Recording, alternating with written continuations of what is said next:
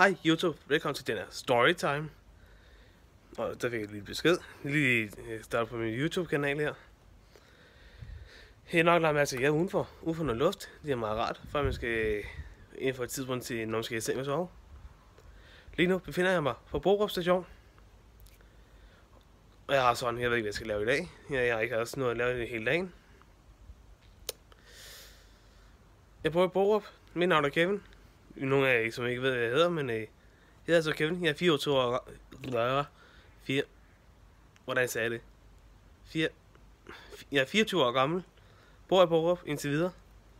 Og så nogle af jer tænker på, hvorfor siger du indtil videre? Det er fordi min adresse skal sådan, øh, flyttes inden for kort tid. Hvornår jeg kan se, de kan desværre ikke svare på. Men det er inden for et eller andet tidspunkt, hvor jeg skal få flyttet min adresse.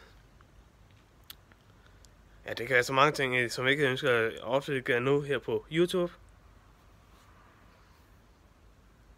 En del af jer har lagt mærke til i løbet af den her uge her, at øh, jeg har lagt rigtig meget... Oh, jeg kunne mærke en dråbe. Må det gå nogen her tid.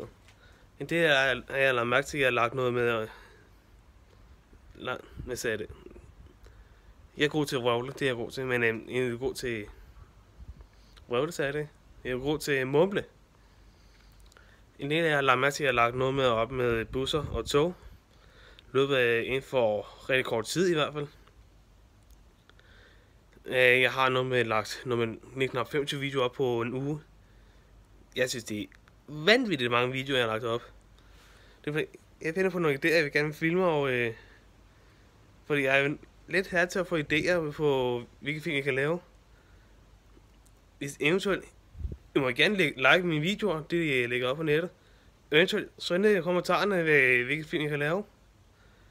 Eventuelt, I kan begynde at abonnere på min kanal. Vi snakkes ved. Hej!